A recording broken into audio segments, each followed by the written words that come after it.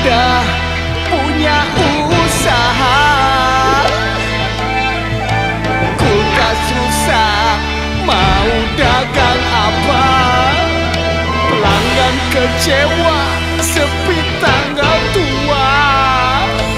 Kompor meleduk, hati dak tidur.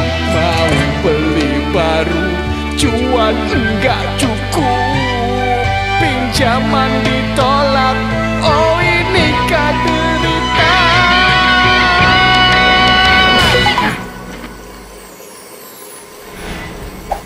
Nih?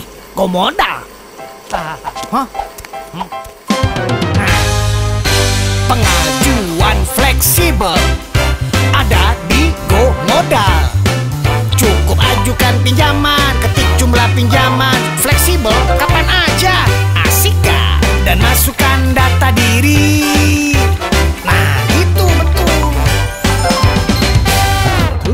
Cara bayar tagihannya gimana? Cara bayarnya mudah. Buka laman pinjaman. Klik pembayaran.